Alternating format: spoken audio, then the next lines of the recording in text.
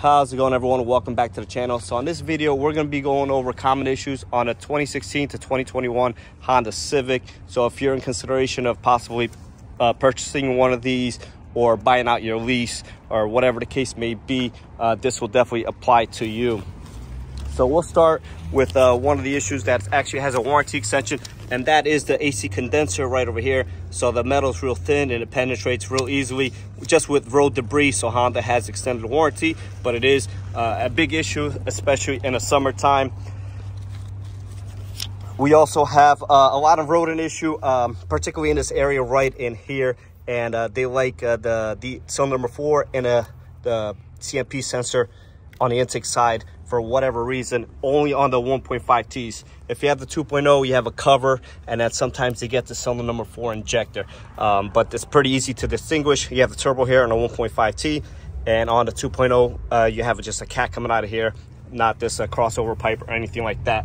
Another thing we see uh, on the 1.5Ts, again, the next two items will uh, be on the 1.5Ts only, are injectors. We see them fail at a high FL rate. Typically, people that use uh, lower octane fuel and uh, those uh, are covered up to warranty up to certain mileage. After that, you're on your own. Head gasket as well. We've been seeing a lot of head gasket failures on all 1.5Ts, CRV, Accord, and the Civic. Uh, to be fair, the, the CRV uh, Accord seems to be the most common failed one, but we do see some on the Civics. I've done about four in comparison to the Accord, maybe about 15 or so, and three or four CRVs. So obviously that's an issue because they seem to fail between 40 to 70,000 miles for whatever reason. And I think it's a combination of uh, weak head studs, studs and, uh, or weak head bolts, I should say, and um, low octane fuel causing some detonation, causing the head to lift. And then once that happens, you get some coolant seeping into the chamber and you get a cold start misfire. One easy, easy way to tell is if your coolant reservoir is low, which this car is not, um, and consuming it at a fast uh, rate, then uh, you probably have some premature uh, head gasket issues. And typically it won't overheat. It'll just cause a cold start misfire. Obviously that's a big deal because that's going to be a really expensive repair and uh, something definitely you should consider in the long run. If it does fail, I would definitely consider um, installing aftermarket head studs from ARP or something like that, not replacing it with Honda head bolts. But if you do replace a Honda head bolts, definitely use brand new ones. Do not reuse the ones you took out.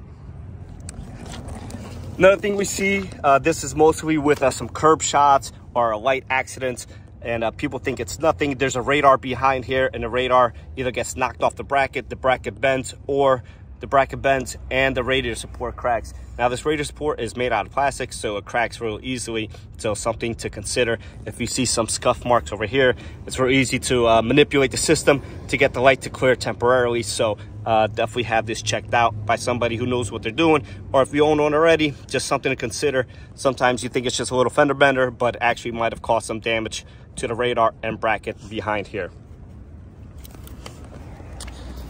So moving forward, this is gonna be the last item I talk about. And once again, some of you guys might experience all these, some of you guys might not experience any, and uh, maybe you guys experience some other issues. So if you do experience some other issue or you had an issue uh, with your Civic, then uh, definitely a comment down below and let me know what your uh, issue was.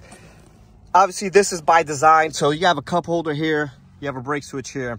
You can even see some sticky stuff here. Uh, so a lot of times you have a uh, taller coffee cup or a juice, whatever the case may be, some water, and it spills over and you don't think of it, uh, you know, initially of anything of it.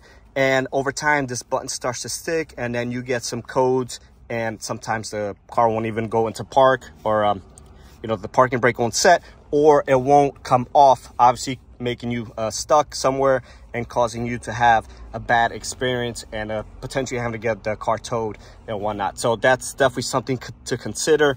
If you, uh, you're buying a used, just give it a, a good wiggle. If it moves smoothly like this, then you're good to go. If it doesn't move smoothly and you see it retracting slowly, then um, switch is already on its way out.